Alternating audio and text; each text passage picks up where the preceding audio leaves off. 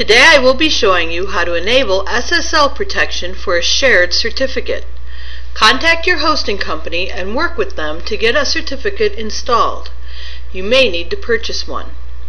In your browser, go to your site using an https colon slash slash address. If it doesn't work, don't try to enable SSL in your ZenCart. Step 1 is to back up your ZenCart files. Look for our video tutorials on backing up your ZenCart if you don't know how to do this. Log into your web webhost cPanel and click on the File Manager icon. Navigate to the Includes folder and click on Configure.php. In the right-hand frame, click on Change Permissions. Change the permissions to 777 and click on the Change button click on configure.php again. In the right-hand frame, click on Edit File with Code Editor. This is a PHP file and must be edited in a plain text editor.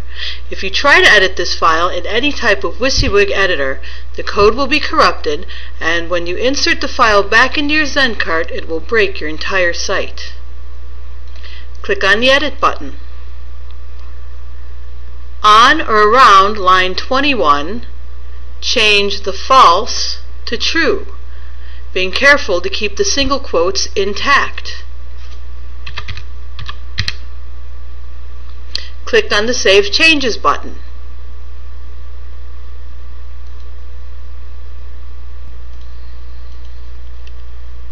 Go back to your file manager and click on configure.php. In the right-hand frame, click on Change Permissions. Change the permissions back to 444 and click on the Change button. Navigate to Admin, Includes folder, and click on the configure.php file. In the right-hand frame, click on Change Permissions.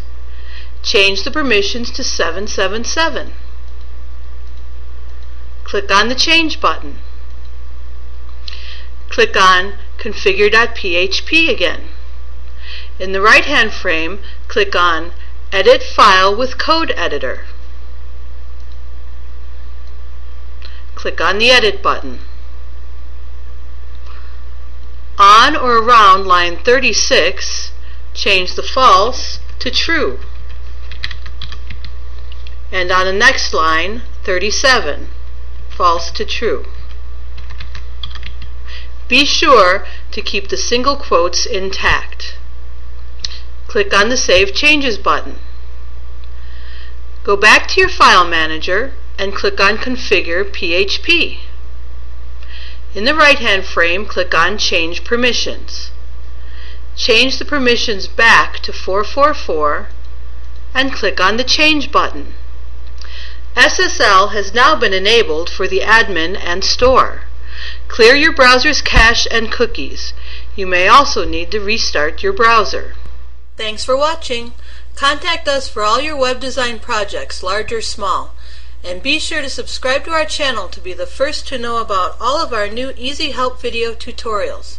Until next time, bye-bye. Thank